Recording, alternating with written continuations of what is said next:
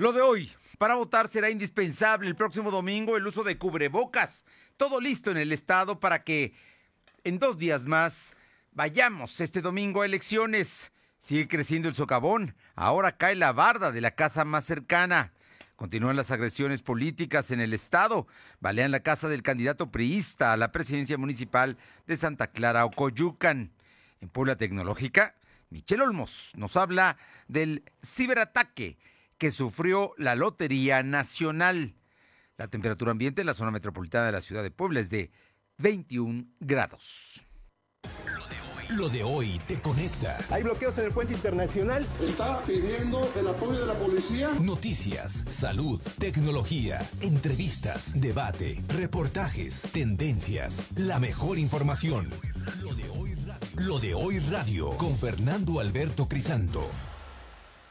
¿Qué tal? ¿Cómo está? Muy buenas tardes. Es un gusto saludarle. En los próximos 58 minutos estaremos informándoles este viernes 4 de junio del 2021. Ya estamos aquí, ya estamos a unas horas de las elecciones, elecciones históricas por el número de candidatos, porque se dan en medio de una pandemia, porque eh, se van a instalar casillas, porque habrá una estrecha vigilancia ah, de los cuerpos de seguridad eh, nacionales, estatales y, municipales, porque eh, en Puebla es el estado donde más posiciones se juegan en todo el país. Vamos a renovar 217 ayuntamientos con sus presidentes municipales, sus regidores, sus síndicos y además eh, el Congreso local con 41 diputados y 15 diputaciones federales. Así es que en Puebla pues hay que ir a votar, hay que ir, hay que hacerlo. Es un derecho que tenemos, hay que ejercerlo.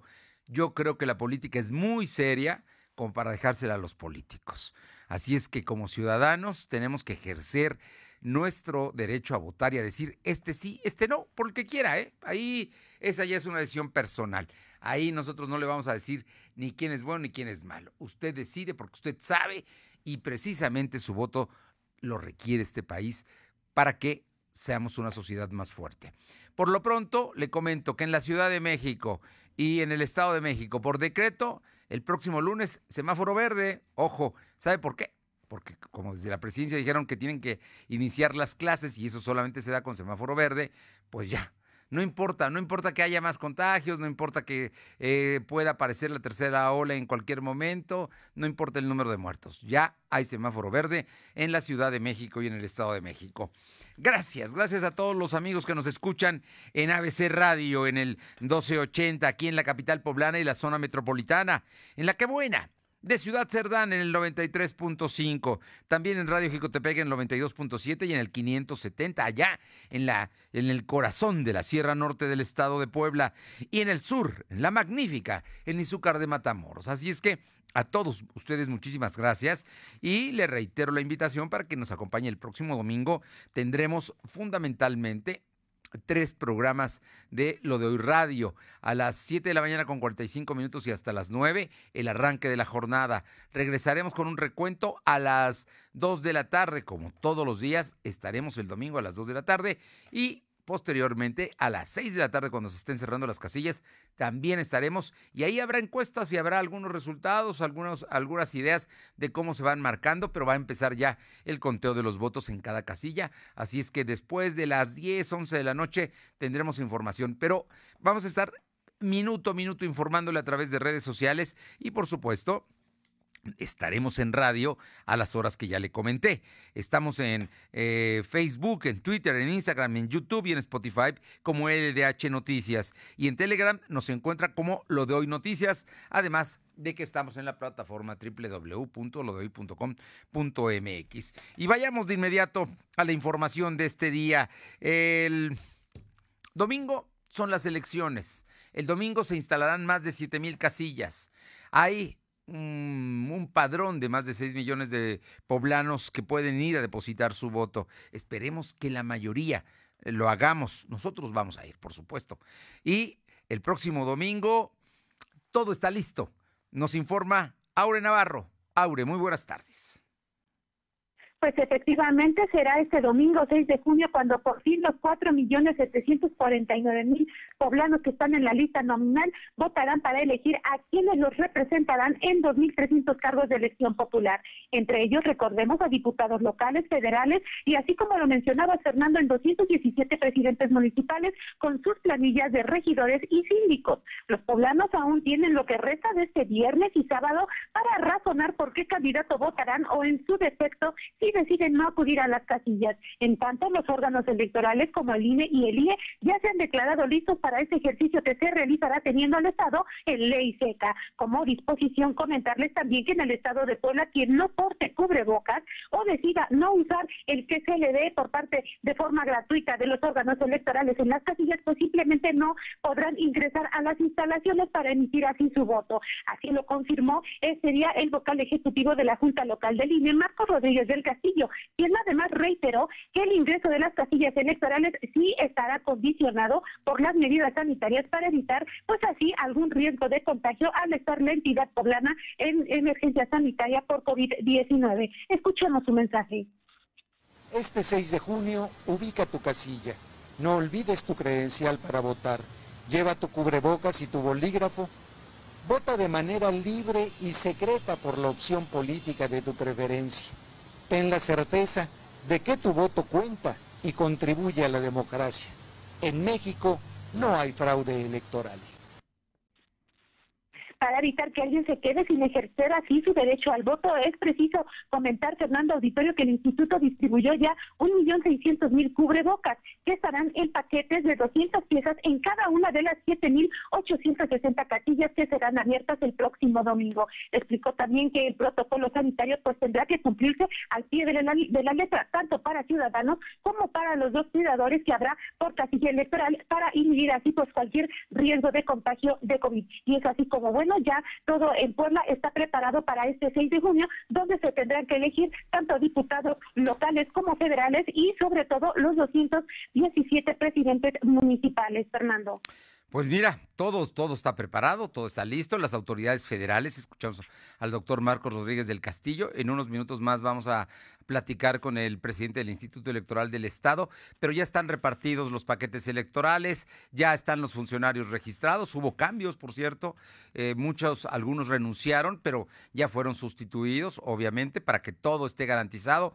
Presidente, secretario, dos escrutadores por, son dos escrutadores, ¿verdad? Por, por los, por cada, por cada casilla, además de los representantes de los partidos. Efectivamente, Fernando, es como ya se tiene distribuido, se están haciendo sí los últimos cambios, como este este tipo de hechos, esta elección histórica lo amerita, se están haciendo todavía algunos ajustes que se van dando conforme se da la logística tanto del órgano electoral, bueno, del INE o del IE, y bueno, es así como ya se están preparando, sin embargo, pues ellos mencionan que ya tienen todos los protocolos listos, tanto sanitarios, incluso, bueno, esa coordinación que se tendrá también con el gobierno del Estado, así como de los 217 ayuntamientos en cuestión de seguridad, y es como ellos insisten en hacer este llamado, que los poblanos salgan este 6 de junio a votar precisamente para poder elegir pues estos cargos de representación y bueno, es así como ya se está declarando listo todo en el estado para elección del 6 de junio, Fernando. Pues vamos a votar, eh, Aure, así es que hay que preparar la credencial de elector hay que llevar la lista, hay que ubicar la casilla. Se llama uh, ubica, uh, ubicatucasilla.ine.com, es el portal al que tú puedes entrar y la, la ubicas en un minuto. ¿eh? eh te dice qué estado, eliges tu estado, buscas la sección que viene abajo de tu credencial de electora y son cuatro números, cuatro dígitos ahí, los marcas inmediatamente te sale, lo pones buscar y sale tu, la dirección donde tienes que ir a votar. Así es que no hay nada que no podamos hacer para ir a votar. Las condiciones están dadas y ya es decisión de cada quien hacerlo, como es decisión de cada quien decir por quién vota. Lo importante es ir a votar. Aure, muchísimas gracias. Gracias, buenas tardes. Vámonos con mi compañero Silvino Cuate, cambiando de tema, pero este tema es importante porque a partir del lunes van a empezar la vacunación al sur del estado en la parte suroriente del estado. Ahorita nos ubicas, Silvino, exactamente algunos de los municipios donde se van. En 56 municipios se van a aplicar ya vacunas a personas mayores de 40 años. Ojo, todavía no llega a los municipios metropolitanos de Puebla ni la capital, ¿eh? Son municipios del sur del estado. Silvino, te escuchamos. Que también buenas tardes, efectivamente, como las acabas de adelantar, a partir de este lunes de junio al día 9 se llevará a cabo la vacunación contra COVID en 56 municipios de la zona suroriente del estado para personas de 40 años. También se incluyen los rezagados de 50 y 60 años, al igual que mujeres embarazadas. El secretario de Salud, José Antonio Martínez García, dijo que aún no hay una fecha de cuándo podría iniciar la vacunación en la capital poblana. Por ello, están a la espera de las indicaciones por parte de la Federación. Cuestionado sobre qué pasa con las personas que ya recibieron la primera dosis y no acudieron a la segunda, el secretario dijo que se les da seguimiento para corroborar si tienen anticuerpos, ser así, y no sería necesaria la segunda dosis. Escuchamos parte de la explicación que señaló el secretario. Aquellas personas que ya fueron vacunadas y por algún motivo no se pudieron vacunar y ya eh, los tiempos eh, que nos indican las guías de práctica, eh, fíjate, se tendría que esperar a que exista el mismo biológico y a los 15 días nosotros le damos seguimiento con pruebas de anticuerpos. Si en los 15 días vemos que está positivo los anticuerpos, ya no hay necesidad de aplicar otro biológico. Ese es todo el proceso que realizamos. Comentarte que el secretario agregó que las casas de adultos mayores que solicitaron inmunización ya cuentan con el esquema completo. Por último, dijo que día de ayer se, logra, se lograron aplicar 57.700 vacunas contra COVID en los municipios de la Sierra Norte y Nororiente.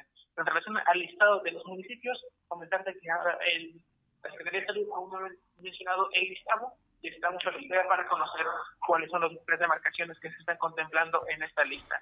Y en el tema COVID, comentarte que la Secretaría de Salud registró 39 enfermos de coronavirus. En comparación con los datos de ayer, son cinco casos menos. También se contabilizaron dos defunciones. Actualmente hay 86.308 acumulados y 12.402 defunciones.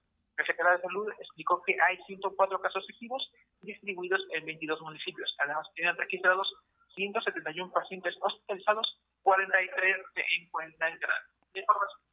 Bien, son 56 municipios del sur oriente del estado de Puebla. Estás hablando de la Sierra Negra, ¿no? Estás hablando de esas zonas de los 56 municipios, pero tiene que aparecer la lista seguramente el día de hoy por la tarde, mañana la lista de estos 56 municipios para que la gente sepa que ahí se va a vacunar a los mayores de 40 años a partir del próximo lunes. Y ya como nos dijiste, bueno, pues también a las personas que no recibieron la segunda dosis, se va a buscar y darle seguimiento para que la, tengan la segunda dosis, porque es importante. Para estar protegido se tienen que tener las dos vacunas.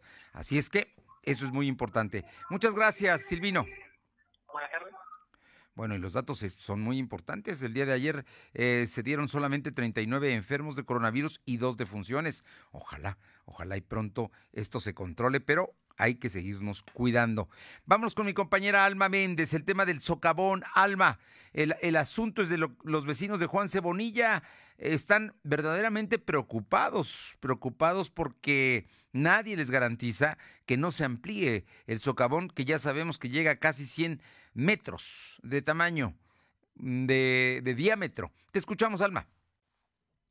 Muy buenas tardes a ti y a todo el auditorio de Venodel. Pues como bien comentas, vecinos de Juan Cebonilla documentaron el, este día que la barra perimetral izquierda de la casa afectada por el socavón de Santa María de Zacatepec comenzó a caerse esta mañana. Y bueno, pues mediante redes sociales se da a conocer de cómo es que el socavón ya se come la propiedad y pues cabe mencionar que el lugar sigue resguardado por elementos de protección civil estatal y expertos que encuentran en la zona sacando muestras para estudios que expliquen del por qué este particular fenómeno. Eh, sin embargo, Fernando, cabe mencionar eh, que personas que están siendo afectadas por dicho fenómeno natural han pedido apoyo al gobernador, ya que no solo es una casa la afectada, sino también casas aledañas, así como las personas que tienen sus siembras, debido a que todos los curiosos que han llegado a ver este fenómeno y las personas que realizan los estudios, pues han echado a perder precisamente estas siembras de maíz, de frijol, y bueno, pues lo que están pidiendo es que no solamente se apoye a una persona, sino que se saque un padrón y que vea y que el gobernador efectivamente evalúe cuáles son los daños que se han afectado eh, precisamente por este socavón, Fernando. La información. Bueno, pues ahí está el asunto, los vecinos afectados, la gente de protección civil cuidando ya, evitando que llegue la gente, que mucha gente iba a ver nada más, pero ahora sí ya no los están dejando acercarse. Así es, Fernando, ya en este momento está creciendo precisamente esta esta zona que estuvo resguardada o que está resguardada precisamente por eh, Protección Civil, así como por la Guardia Nacional y efectivamente eh, día a día se está ampliando un poquito más precisamente este eh, perímetro que está cerrado ya a que entren los curiosos, pero mientras, Fernando, pues ya hubo una afectación para estas personas que tenían sus siembras en la zona. Y su casa, su casa y casas también aledañas. Muchas gracias, Alma. Seguimos el pendiente, Fernando. Vamos con mi compañero Silvino Cuate para que nos cuente, el, nos dé a conocer el reporte oficial de la secretaria de Gobernación, Ana Lucía Gil. Te escuchamos, Silvino comentarte que la titular de la Secretaría de Gobernación, Ana Lucía Mayoral, informó que se registró un nuevo desprendimiento el socavón de Juan Cebonilla. Con ello hubo un incremento en la distancia del eje menor de 3 metros. Actualmente el tamaño es de 27 metros en el eje mayor y en el menor es de 83 metros. La funcionaria estatal explicó que la profundidad se mantiene en 15 metros. Sin embargo, se continúan haciendo observaciones para conocer las posibles repercusiones por la lluvia. Agregó que los primeros resultados de los estudios se estarían realizando, se estarían dando a conocer en el De. La Secretaría de Medio Ambiente del Estado está trabajando de manera muy coordinada con el Instituto Politécnico Nacional. Ayer estuvieron eh, haciendo trabajo de campo cerca de 10 expertos en la materia, haciendo toma de, muestras de agua, de, de, tierra, justamente para poder evaluar realmente qué es lo que está sucediendo en el lugar. Decir algo antes sería apresurado y irresponsable de nuestra parte, tendremos que esperar a los primeros resultados que podrán estar disponibles para todos eh, en los próximos en 25 días. Comentarte que por su parte el gobernador Miguel Barroso Huerta aseguró que en próximos días visitará el municipio de Juan Bonilla para hablar directamente con la familia y también pues, apoyarlos, sobre todo por la pérdida de su hogar. Información. Bueno, pues ahí está ya. Va a hablar el gobernador personalmente con las familias, seguramente en estas horas, quizá mañana más tardar, estará con ellos, hablará con ellos y, y verá la manera en la que habrá solidaridad y apoyo del gobierno del estado a la familia que perdió pues sus terrenos y su casa, ¿no? Y que ahora está viviendo con, con vecinos, así es que nada fácil la situación. Y luego todavía ayer que nos comentabas, nos documentabas cómo fueron estafados. tremendo, tremendo el asunto, pero el socavón sigue ahí y sigue siendo nota nacional porque sigue creciendo. Muchas gracias, Silvino. Buenas tardes. Son las 2 de la tarde con 16 minutos, 2.16. Lo de hoy es estar bien informado. No te desconectes. En breve regresamos. Regresamos.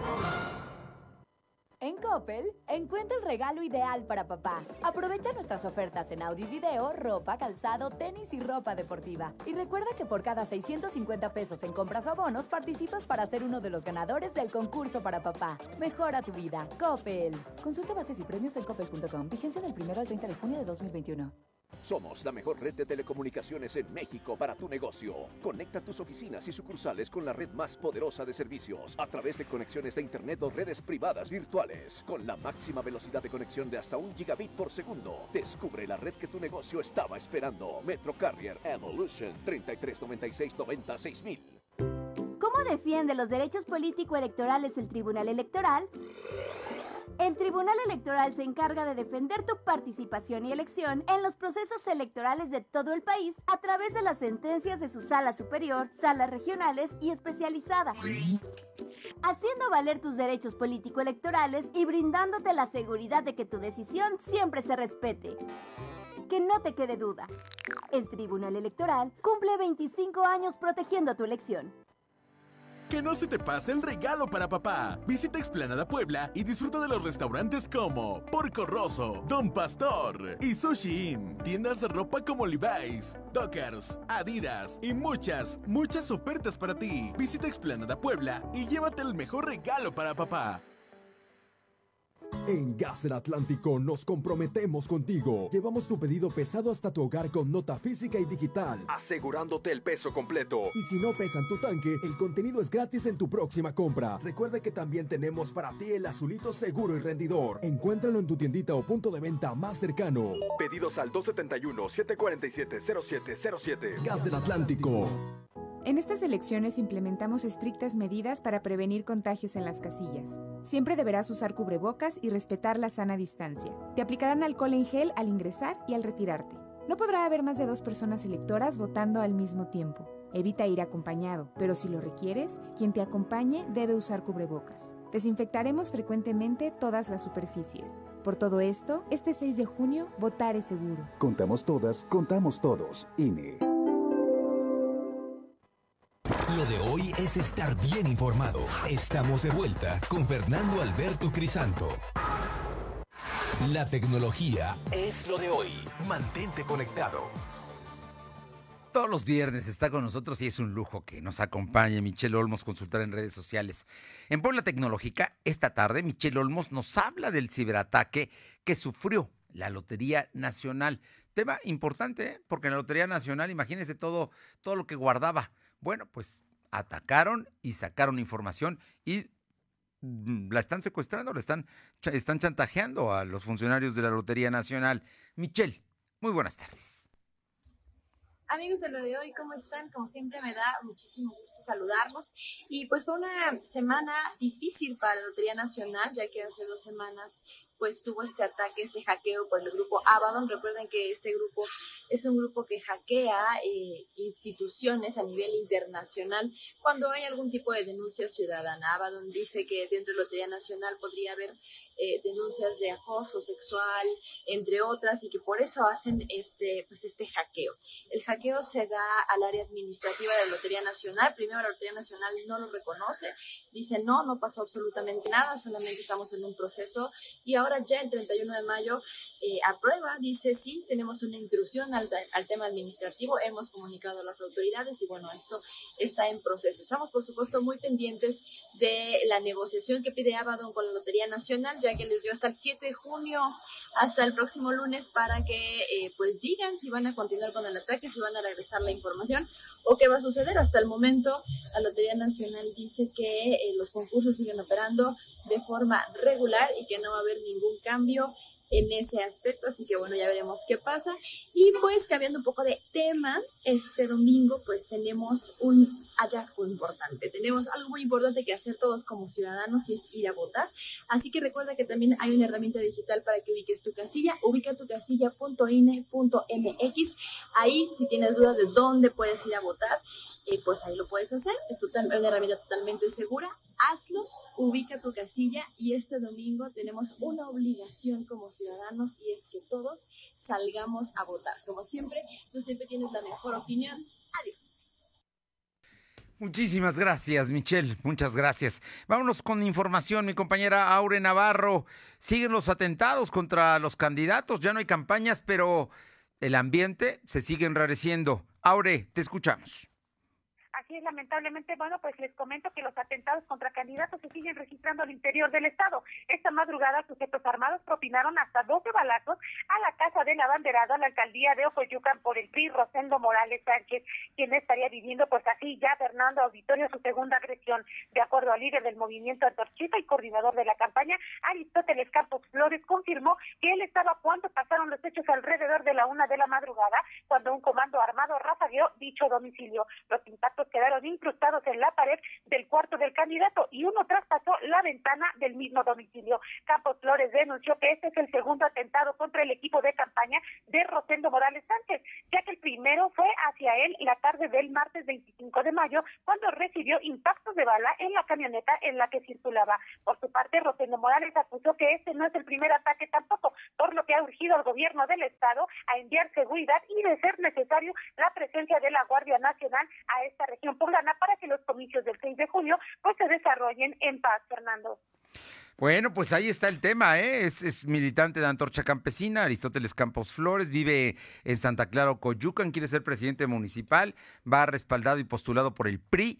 Eh, tiene contendientes de Morena, a quien también el candidato de Morena también lo balearon, le lastimaron una mano. esto fue la semana pasada. Y, y, también hay amenazas en contra de Giles, que es el candidato del Partido Acción Nacional. En fin, y Santa Clara Coyucan está a 10 minutos de Puebla, ¿eh? está pegadito aquí a, la, zona metropolitana de Puebla. Eh, está eh, solamente San Andrés está entre nosotros y Santa Clara Coyucan. Todo es, lo que pasa ahí es importante y estaremos muy atentos. Oye, Aure, y por otra parte, la presidenta municipal de Tecamachalco hizo denuncias y las va a presentar ante las autoridades electorales.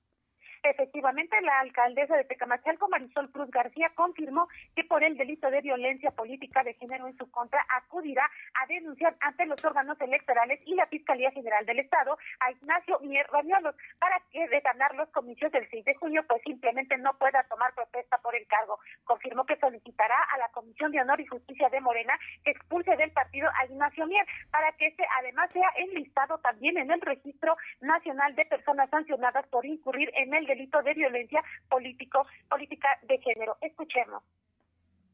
Y sobre todo utilizar un espacio eh, político para agredir, agredirme como mujer, como funcionaria pública también, pues obviamente necesitamos recordar que no nada más somos funcionarios, también somos madres de familia, también tenemos vida, ¿sí?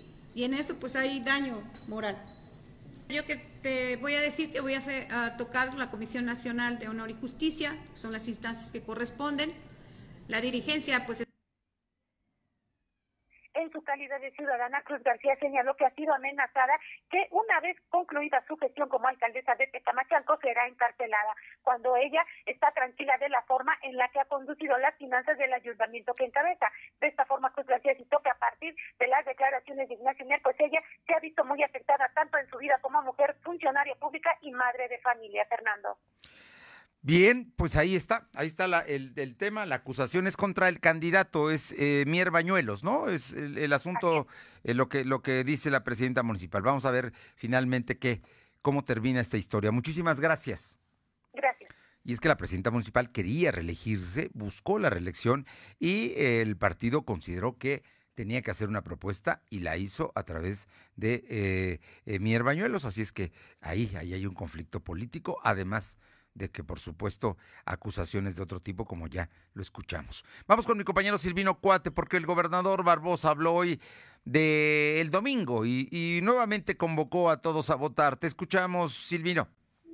Efectivamente, como lo comentas, el gobernador Miguel Barroso Huerta aseguró que las campañas no generaron un incremento en los contagios de coronavirus. Por ello, reconoció el comportamiento de la ciudadanía y de los partidos políticos. Además, exhortó a la ciudadanía para que acudan a votar el 6 de julio. Barroso Huerta enfatizó que el número de casos violentos durante las campañas fue mínimo y nada que no se pudiera controlar agregó que se tiene un, toda una estrategia de seguridad donde participarán aproximadamente 8.000 elementos de seguridad y 700 patrullas en todo el estado.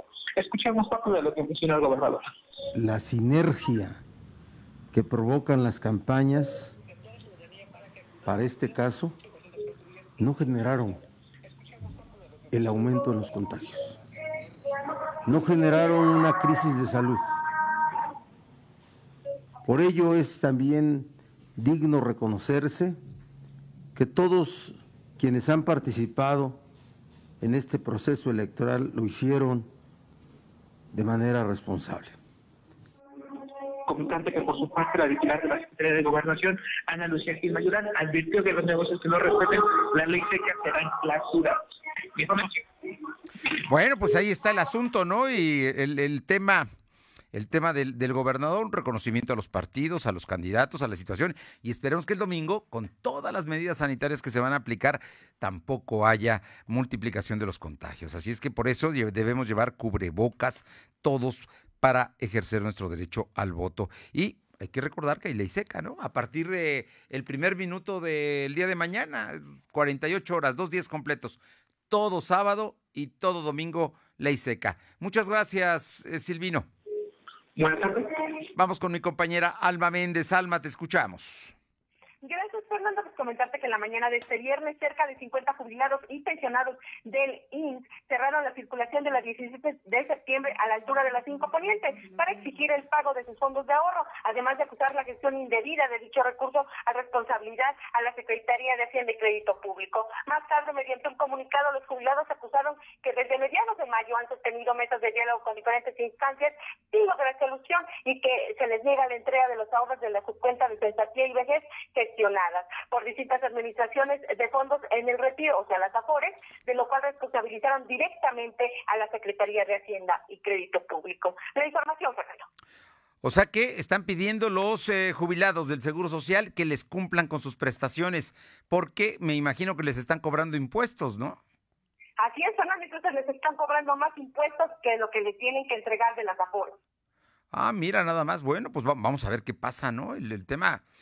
Ah, el tema es delicado, pero además hicieron manifestación tanto en la recta Cholula como en la oficina del SAT que está aquí en el centro, en esas dos oficinas.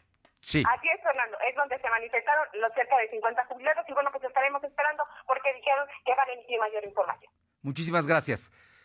Está lloviendo en la ciudad de Puebla, es un aguacero. En este momento, bueno, ya hace unos un par de minutos empezó a llover, por lo menos aquí en la zona nororiental, la colonia Humboldt, donde nosotros nos encontramos, pero también en otras partes de la ciudad. Tome sus precauciones, está lloviendo en la capital poblana. Son las 2.30, dos y media. Lo de hoy es estar bien informado. No te desconectes. En breve regresamos. Regresamos. Hashtag Juntos por el Planeta.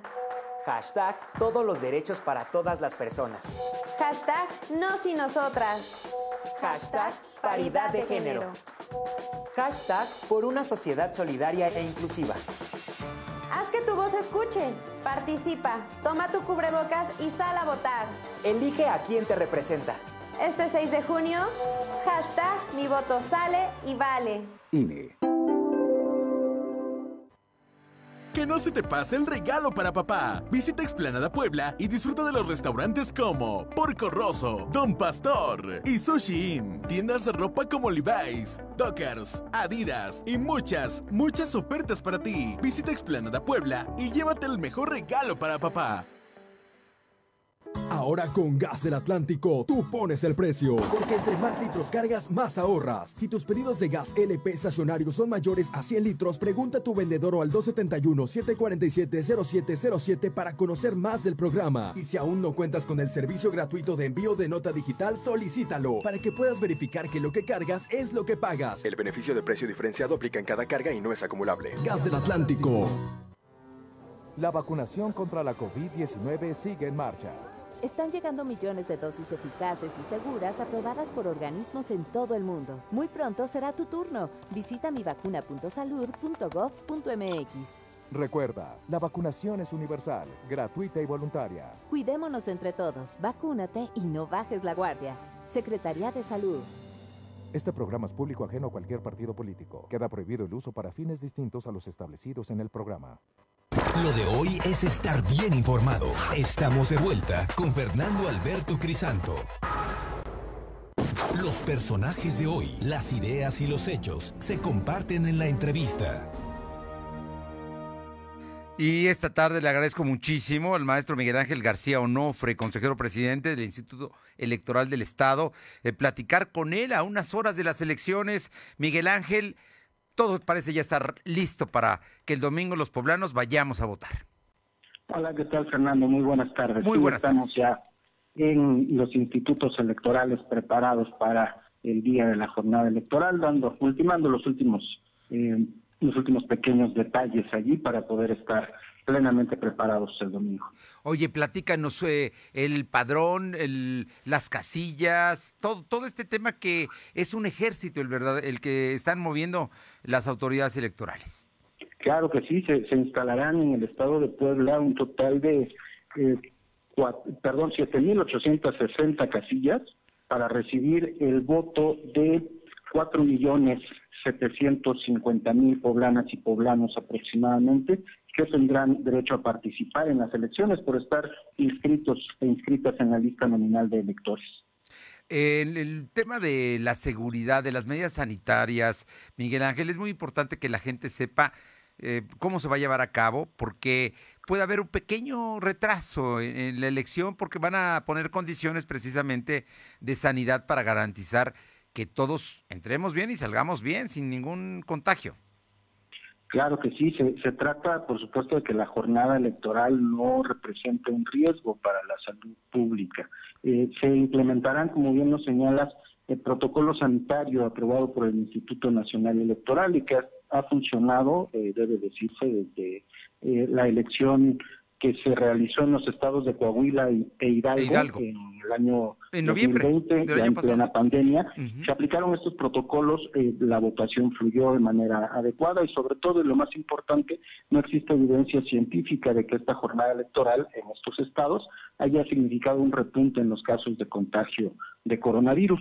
En esta ocasión, para, la, para toda la elección en todo el, el país y particularmente en Puebla, este eh, procedimiento de eh, cuidados sanitarios también se van a se van a llevar a cabo en todas y cada una de las casillas electorales. Incluye sanitización previa de los espacios donde se van a instalar las casillas, también eh, dotar a cada uno de, de los ciudadanos y ciudadanas que acudan a las casillas de gel antibacterial al entrar y al salir, una toalla sanitizante para limpiar superficies de contacto, la política de sana distancia, de cero contacto entre funcionarias, funcionarios de mesa directiva de casilla y la ciudadanía, y también la utilización obligatoria del cubrebocas para todo aquel que, que pretenda ingresar y por cualquier causa permanecer en el interior de, de la casilla. Únicamente podrán ingresar dos personas, un máximo de dos personas al mismo tiempo para poder emitir el voto.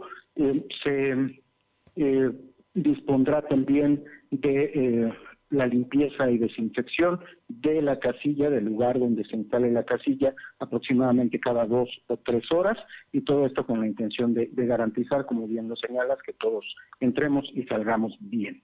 Oye, pues mu- muy bien, hay que saberlo porque no nos tenemos que desesperar, debemos llevar nuestro cubrebocas, creo que lo elemental es cubrebocas, credencial de lector y si quieres un eh, marcador, una pluma, un para, para poder cruzar el, el voto, para poder ejercer el derecho.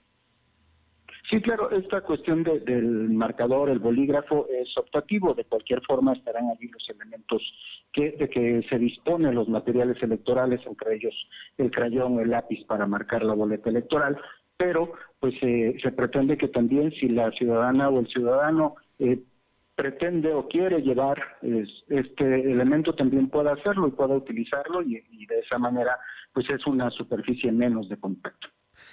Te pregunto porque nunca falta, nunca falta, como bien lo sabes, y bueno, pues somos ciudadanos, somos mexicanos y nos han tocado varias elecciones, nunca faltará alguien que diga que hay fraude, pero creo que es muy importante que la autoridad electoral, como es tu caso, nos diga por qué, por qué está blindado el proceso electoral para que estas cosas que en el pasado llegaban a ocurrir, hoy no ocurran.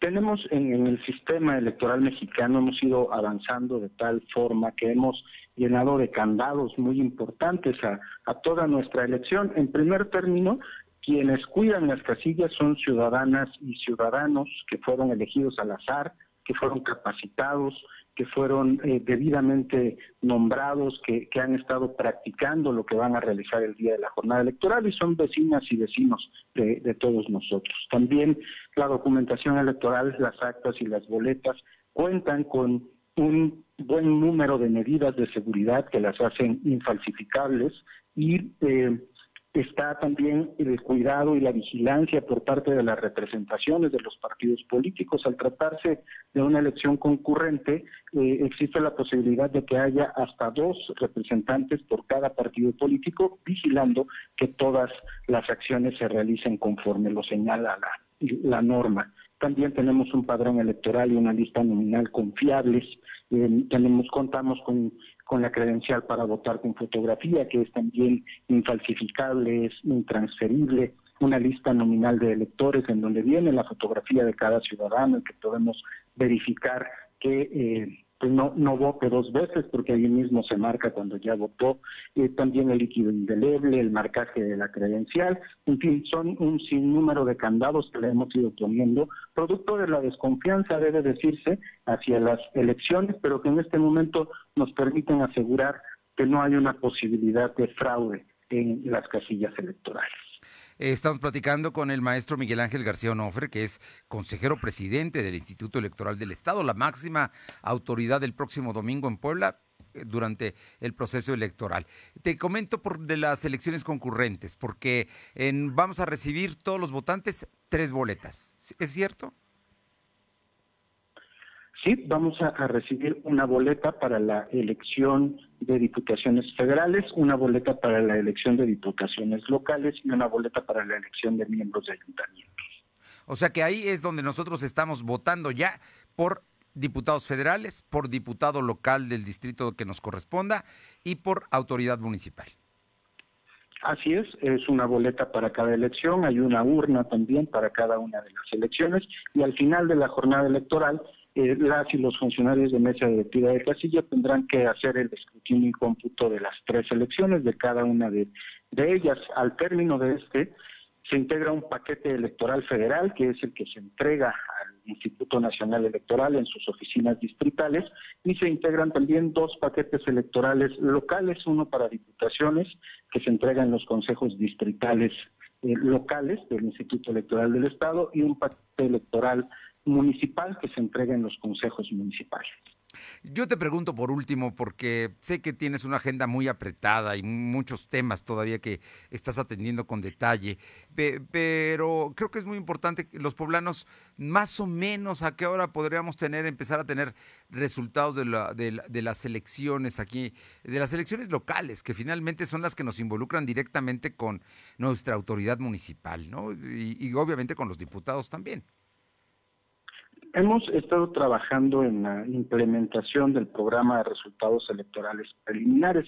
Los resultados de las que empiezan a fluir desde el momento en el que las y los funcionarios de mesa directiva de casilla concluyen el escrutinio y cómputo, realizan el llenado del acta respectiva y la firman. En ese momento el personal del Instituto Electoral del, Estado, capacitadoras y capacitadores asistentes electorales locales, estarán allí pendientes para tomar una fotografía por, por, medio de un dispositivo móvil del que ya les topamos, que tiene una aplicación eh, con la cual esta fotografía del, del, acta se podrá enviar hasta el centro de captura y verificación del PREP, que está instalado aquí en, en la ciudad de Puebla, y a partir de allí poder empezar a capturar y a verificar estos datos. Una vez que estos sean consistentes, empezarán a publicar en el sitio oficial del PREP a partir de las 8 de la noche y allí podremos ir siendo testigos de cómo avanzan los resultados preliminares para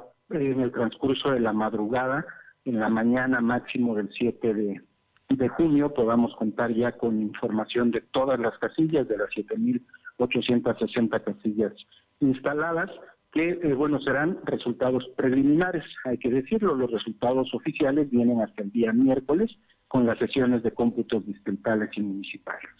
Para que todos sepamos, entonces, después de las 8 de la noche se abre el portal, usted podrá tener acceso, es público, es abierto, del Instituto Electoral del Estado, ahí está el PREP, programa de resultados preliminares, irán cayendo, ciudades como Puebla, que es muy grande, pues seguramente hasta la madrugada se tendrá un porcentaje ya avanzado de la gente. Hay municipios pequeños que seguramente se conocerán antes los resultados de las elecciones y al final de cuentas nos vamos a despertar ya con ganadores, eh, estimado Miguel Ángel.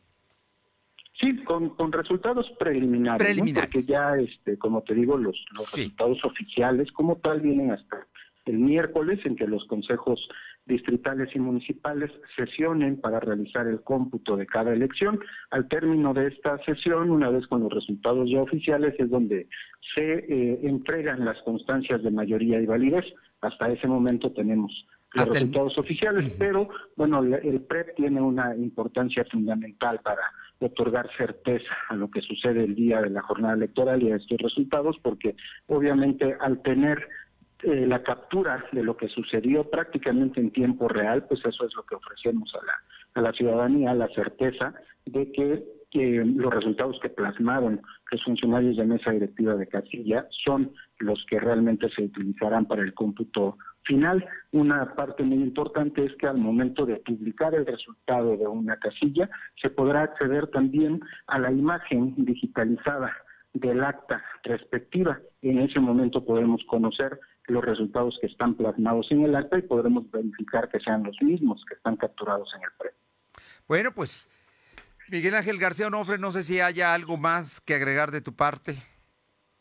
Pues únicamente agradecer la, la oportunidad y reiterar la invitación a la, la ciudadanía a que reflexionemos bien eh, acerca del sentido de nuestro voto, decidamos de manera libre y el día domingo tomemos nuestra credencial de elector, nuestro cubrebocas y nos dirijamos a la casilla que nos corresponde para cumplir con este deber ciudadano y con este derecho que tenemos todas y todos los mexicanos. Miguel Ángel García Onofre, consejero presidente del Instituto Electoral del Estado, muchísimas gracias por estos minutos y éxito, porque si a la autoridad electoral le va bien, nos va a ir bien a los poblanos, Miguel Ángel. Así es, muchísimas gracias Fernando, estamos a la orden, un saludo. Un abrazo, gracias. Son las 2 de la tarde con 44 minutos, 2 con 44 minutos. Vamos con mi compañera Alma Méndez para que nos comente sobre el tema de, pues, eh, el comercio. Parece que mm, le está yendo mejor con, con, con la apertura.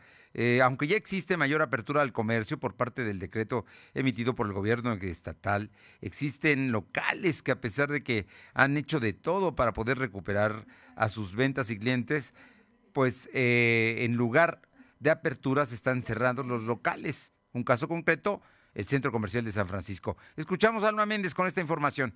Alma. Gracias, comentarte que aunque ya existe mayor apertura a comercios por parte del decreto emitido por el gobierno estatal, todavía existen locales que a pesar de que han hecho de todo para poder recuperar sus ventas y clientes, a bueno, sin embargo, no han podido aperturar y han cerrado sus locales. Tal es el caso del Centro Comercial San Francisco, que está ubicado precisamente sobre esa zona y el Boulevard 5 de Mayo. Y bueno, pues esto quiere decir que eh, de los 70 locales que se encuentran en dicho lugar, 35 de ellos ya se encuentran en renta, además de que casi no hay gente en su interior. Y bueno, pues comentarte que en un recorrido que hizo lo de hoy y preguntando precisamente a los locatarios que quedan, nos comentaban que esto se debe precisamente a que el Cinemex eh, de, esta centro, de este centro comercial se encuentra cerrado y debido que pues de ahí salían diversos de sus clientes y que pues en este momento que estuvo cerrado obviamente esto pues eh, le eh, diversas entradas precisamente a sus locales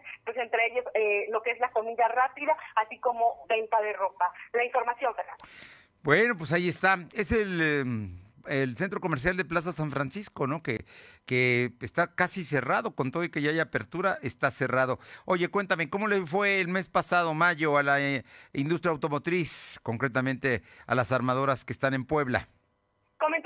Lo que la industria automotriz de vehículos registró en los primeros cinco meses del 2021 un crecimiento en su producción del 38.7%, mientras que en Puebla el crecimiento fue de 52.22%, así lo reportó el INEGI. Asimismo, creció el 956% la producción de vehículos ligeros en el comparativo con mayo del 2020 a mayo del 2021, al ensamblar este último mes 241.442 unidades, de las cuales 35.293 se generaron en Puebla. Y bueno, pues la producción de vehículos ligeros en México entre enero y mayo del 2021 son 1.331.746 unidades, de las cuales 75.4% fueron subs y, y, camiones ligeros, mientras que el 24.6% fueron automóviles. La información, Fernando.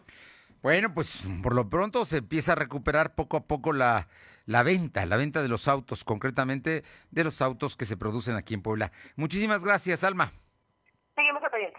Vámonos con mi compañera Aure Navarro para que nos comente el tema de ajustes que hizo el Instituto Electoral del Estado con relación a candidatos, ¿no? Concretamente en el caso de Eduardo Rivera Santa María van a postular a su esposa. Te escuchamos, Aure.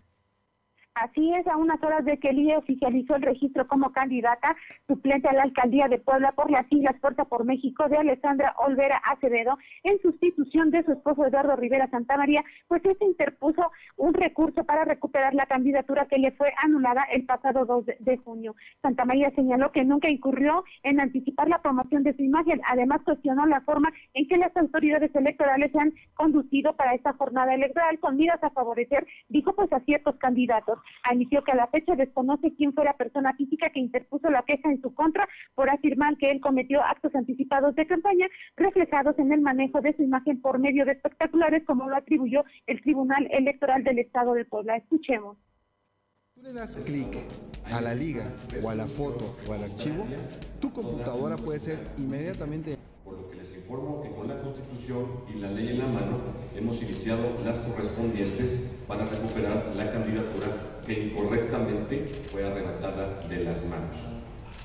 No permitiremos que bajo el presunto amparo de la ley se nos arrebate lo que por derecho propio hemos conseguido. No permitiremos que el esfuerzo de muchas poblanas y muchos poblanos para concluir, Eduardo Rivera Santamaría se dijo confiar del resolutivo que emita la Sala Regional del Tribunal Electoral del Poder Judicial de la Federación ante el recurso en la defensa de sus derechos político-electorales, Fernando. O sea que va a seguir impugnando, pero la verdad es que ya perdió, ¿no? Digo, la, y tan es así que lo llamaban Lalo Fake, ¿no? Digo, en fin. Así es. Pero ahora su esposa es la candidata. Vamos a ver finalmente cómo termina esta historia. Muchas gracias. Gracias. Son las 2 de la tarde con 49. Lo de hoy es estar bien informado. No te desconectes. En breve regresamos. Regresamos. El regalo ideal para cada estilo de papá está en Coppel. Encuentra ofertas en pantallas y videojuegos, la mejor ropa deportiva de las marcas más importantes como Sportline y modelos exclusivos de Nike y Adidas y hasta 20% en reclinables y sofás cama. Mejora tu vida. Coppel. Consulta códigos participantes. Vigencia del 1 al 20 de junio de 2021. Que no se te pase el regalo para papá. Visita Explanada Puebla y disfruta de los restaurantes como Porco Rosso, Don Pastor y Sushi Inn. Tiendas de ropa como Levi's, Dockers, Adidas y muchas, muchas ofertas para ti. Visita Explanada Puebla y llévate el mejor regalo para papá. Este verano combate el calor con Aspix. Refresca toda tu casa con su gran variedad de coolers. Ve hoy mismo a Coppel y estrena el tuyo hasta con el 10% de descuento. Aspix, calidad e innovación para tu hogar a un precio increíble. De venta en Coppel. Consulta los productos disponibles en Coppel o en coppel.com diagonal Aspix. En estas elecciones, votar es seguro. Lleva tu cubrebocas y tu INE. En tu casilla te indicarán dónde colocarte, respetando la sana distancia. Al ingresar, te colocarán alcohol en gel. Te pedirán mostrar tu INE, solo tú la tocarás. Te darán tus boletas. Para votar, tienes la opción de traer tu propia pluma. Te aplicarán tinta indeleble. Sigue las instrucciones de las personas funcionarias de casilla. Nos vamos a cuidar y te vamos a cuidar. El 6 de junio, votar es seguro. Contamos todas, contamos todos. INE. Somos la mejor red de telecomunicaciones en México para tu negocio. Conecta tus oficinas y sucursales con la red más poderosa de servicios a través de conexiones de Internet o redes privadas virtuales con la máxima velocidad de conexión de hasta un gigabit por segundo. Descubre la red que tu negocio estaba esperando. Metro Carrier Evolution 3396 96000. Tengo 17 años, mi mamá falleció de cáncer. Ese vacío que dejó ella al irse me hundió, es lo que me tiene aquí. Me fui empezando a juntar con malas amistades y me dejé que, que me envolvieran y dije, pues va. La probé y me gustó y de ahí me agarré. Marihuana y tabaco son lo que... mi consumo crónico. Se fueron mis ganas de vivir. Me causó mucho sentimiento que me dijo mi abuela, yo no quería esto para ti. El mundo de las drogas no es un lugar feliz. Busca la línea de la vida, 800-911-2000. Lo de hoy es estar bien informado. Estamos de vuelta con Fernando Alberto Crisanto. Arriba el telón. El show está por comenzar. Son las 2 de la tarde con 52 minutos, 2 con 52. Bueno, y Claudia Cisneros, siempre con lo último del espectáculo. Platícanos de Natalia Lafourcade. Eh, Claudia, muy buenas tardes. Buenas tardes, Fernando, amigos del auditorio, un saludo a todos ustedes. Y bueno, pues compartiendo su gran amor por la música en nuestro país, Natalia Lafourcade presentó hace unos días su nuevo material titulado Un canto por México volumen 2. Cabe decir que este material es en beneficio de la reconstrucción del Centro de Documentación del Son Jarocho, que se vio muy afectado por el sismo del 2017 y que en el volumen 1 que hizo la Furcade, bueno, pues ha venido haciendo diferentes actividades como conciertos y una parte de lo que se recaude de este material, bueno, pues es en beneficio de esta reconstrucción de este centro del Son Jarocho. Este nuevo material, bueno, pues es sin duda alguna una continuación. Ahora vamos a encontrar 11 bellas melodías en donde se rescata mucho de nuestras tradiciones. Vamos a encontrar también eh, temas como La Llorona, 100 años, con Pepe Aguilar, Alma Mía. Vamos a encontrar eh, Nada es verdad con los cojolines, que es el tema del lanzamiento, recuérdame con Carlos Rivera, y bueno, pues una eh, buena cantidad de temas que son representativos y que cuentan con colaboraciones. Pero aquí lo importante es decir que el material como las actividades de este disco son a beneficio de esta institución, Fernando. Pues muy bien, la verdad es que vale la pena, es extraordinaria cantante y bueno, lleva muchos duetos, así es que, que vale la pena escucharlo. Ya lo podemos escuchar en las plataformas. Sí, así es, ya, ya se puede escuchar en todas las plataformas digitales y como bien Sí. dices, vale la pena por el rescate de estas melodías que son de tradición y bueno, pues ahora con estos duetos, sin duda alguna, es muy refrescante escucharlo. ¿Te gusta el cine de terror, Claudia? Ay, honestamente, Fernando, no. Pero bueno, pues hay mucha gente que, que les encanta y qué mejor que vayan este fin de semana a Cinépolis porque entra El Conjuro 3, El Diablo me obligó a hacerlo, terror puro, más fuerte que nunca. Importante decir que está basado esta película en hechos reales. Guau. Bueno, bueno, pues vamos a ver esta pareja que sigue esto del Conjuro, Ed y Lorraine Garren, que bueno, pues son los eh, eh, investigadores paranormales. Vamos a ver, repito, un caso que eh, fue llevado a la Corte de los Estados Unidos en donde un sospechoso de homicidio alegaría por primera vez posesión demoníaca en su defensa, Fernando. Pues qué miedo, pero lo que no nos da miedo son los regalos que nos vas a hacer hoy. Ah, no, eso sí no nos da miedo. Y bueno, pues Cinépolis Centro Sur de Agua Santa, exactamente está invitando para que vaya el público a ver el Conjuro 3, el Diablo me obligó a hacerlo, así como toda su demás cartelera, que bueno, pues es para todos los gustos. Llamen a nuestros teléfonos del WhatsApp y bueno, pues se podrán ganar cinco pases dobles, Fernando, para que disfruten, disfruten de este cine y de esta cartelera de Cinépolis en Cinépolis Centro Sur de Agua Santa. 22, 22, 38, 18, 11. Ahí están los pases dobles para ir al cine. Muchas gracias, Claudia. Bonito fin de semana a todos. Gracias. Y vámonos a Tlisco con mi compañera Paola Roche. Paola, te escuchamos.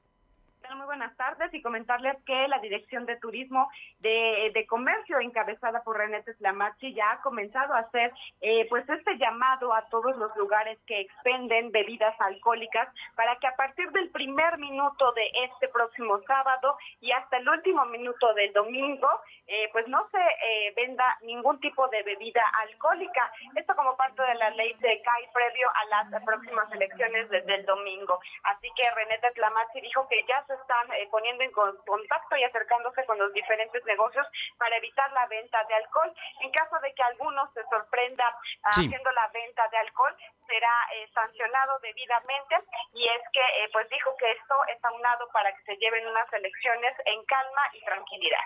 Muy bien. ¿Cómo está? ¿Cómo está la... la, eh, bueno, pues ah, ya empieza. Entonces, dos días también de ley seca allá en. Muchas gracias, Paola. Buenas tardes. El INE está dando a conocer hace unos minutos que no habrá elección en Aguililla. La situación es tan difícil, tan insegura, que no habrá elección en Aguililla, Michoacán. Es un municipio que está en la tierra caliente, en los límites con Guerrero.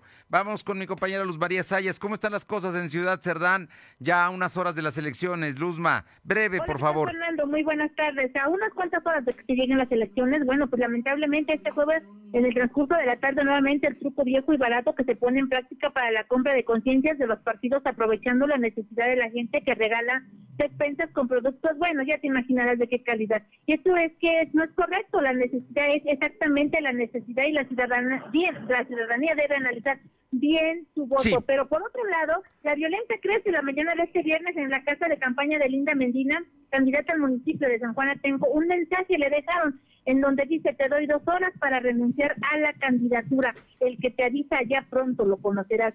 Este mensaje lo dejaron en una bolsa de plástico a la entrada de la casa de campaña. Hasta el momento no se ha dado a conocer la postura de la candidata de. Y ya por último te comento, Fernando, la noche de este jueves rafallaron una vivienda en Tlaxichuca y un vehículo. Afortunadamente solo se habla de daños materiales. No hubo personas lesionadas. Estos hechos se llevaron a cabo en la calle 4 Norte, en el barrio primero de este municipio de Tlachichuca, Puebla. Así la situación se está poniendo complicada a dos días, a unos de las elecciones que se llevarán a, pro- a cabo el próximo 6 de julio, Fernando.